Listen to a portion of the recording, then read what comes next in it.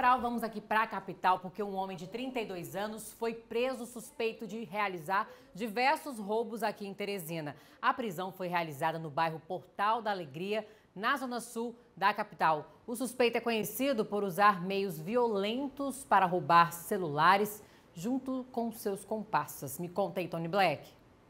A diretoria de Blitz da Secretaria de Segurança do Estado do Piauí é coordenada por este homem que você vê agora no seu vídeo, Fernando Aragão. E a equipe comandada por ele efetuou uma prisão muito importante de um homem que, aliás, já estava sendo procurado, monitorado há bastante tempo, mas ele caiu e agora à disposição da justiça. Fernando Aragão, quem é este homem? É, esse homem de iniciais aí, JW, de 32 anos de idade, é um homem que vem do mundo do crime, né, já responde aí, por, já tem várias passagens, entre elas de roubo. Né? Segundo as suas vítimas, relatam que quando ele pratica esses roubos, ele costuma ser bastante violento.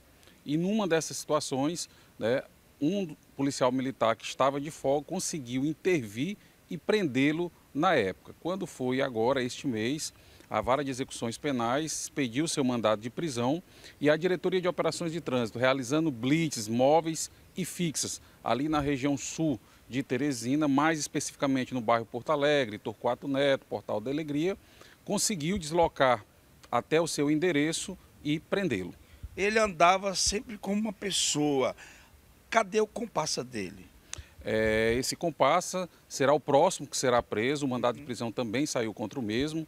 É, é, durante a, a, a, Blitz, né, nós recebemos essa informação, demonstrando assim que a população tem confiado é, na, na, nas instituições, tanto na Polícia Militar, na Polícia Civil, quanto no Corpo de Bombeiros.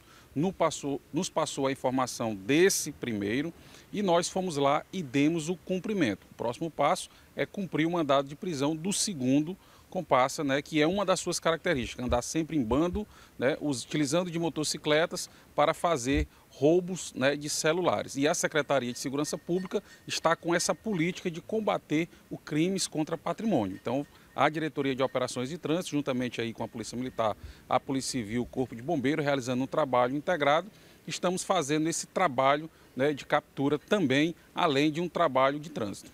Ele reagiu à prisão no momento em que a polícia chegou? Não, não, foi bem tranquilo. É, não sabia que tinha um mandado de prisão contra ele e conseguimos capturá-lo de forma tranquila.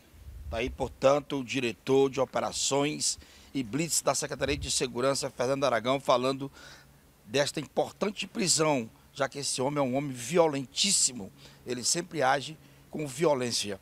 O último dele foi um homicídio?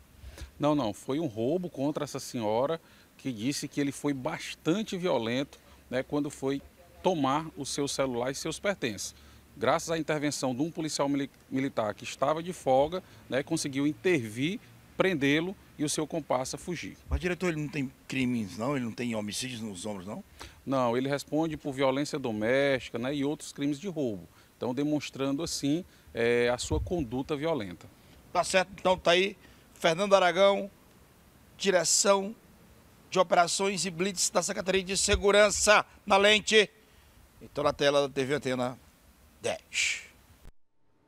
Muito obrigada, Tony Black, pelas suas informações. Está vendo aí o resultado da polícia? Você perguntou para a Verônica, Exatamente. agora há pouco, né, como é que está sendo esse combate ao crime, às facções criminosas. E a gente observa o tanto que está forte, não só o combate a, a, crimes violentos, homicídios, mas também roubos de celulares. É verdade. O resultado a gente tem que tá destacar esse papel da Secretaria de Segurança Pública, porque eles já devolveram cerca de 8 mil celulares roubados ou furtados no Piauí. E agora eles colocam mais um bandido atrás das grades que fazia esse tipo de, praticava esse tipo de crime.